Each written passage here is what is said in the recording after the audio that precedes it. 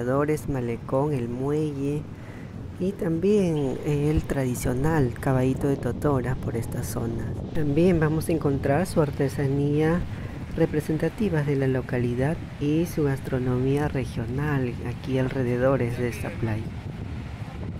Si te encuentras por el norte, no debes dejar de venir a conocer la playa Pimentel. Es ideal para visitarlo en cualquier mes del año. La infraestructura turística ha sido modificada propiciando para la actualidad contar con un atractivo malecón donde se ubican las áreas de paseo y puestos de venta de artesanía. Nos va a permitir apreciar una excelente vista panorámica del balneario. En un principio se construyó este muelle con el fin de permitir el transporte y el comercio de diversos productos de la zona con otros lugares del país y también del extranjero Actualmente la usan para pescar y de atractivo turístico.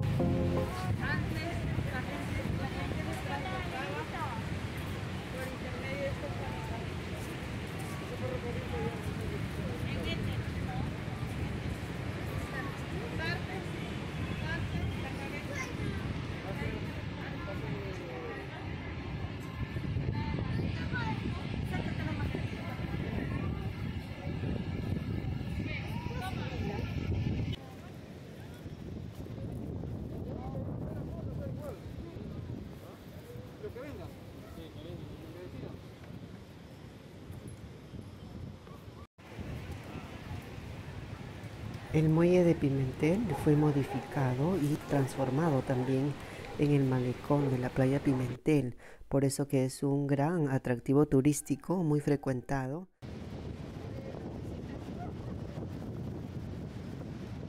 En esta playa se pueden practicar diversas actividades. Sus olas son aptas para el surf y otros deportes acuáticos sobre tablas. Cuenta con una buena calidad microbiológica del agua, playas limpias, cuentan con recipientes para residuos sólidos y sus servicios higiénicos están operativos y en buenas condiciones.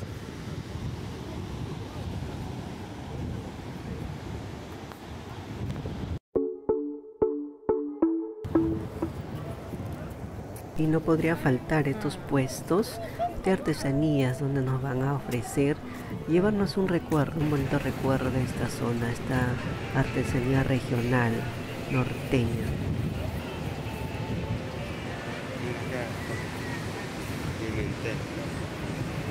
Mm. ¿cuánto está esta pulsera? ¿Cinco? Su barquito. ¿Diez soles? Está bonito.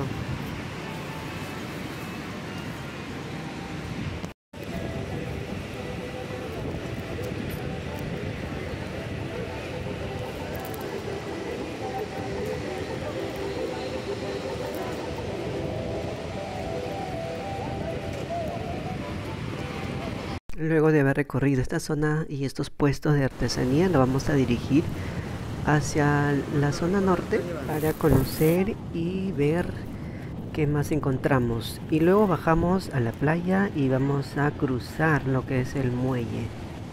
Y luego dirigirnos a la zona sur porque más abajo he visto que hay eh, los caballitos de totoras que están alquilando para poder eh, pasearse dentro del mar.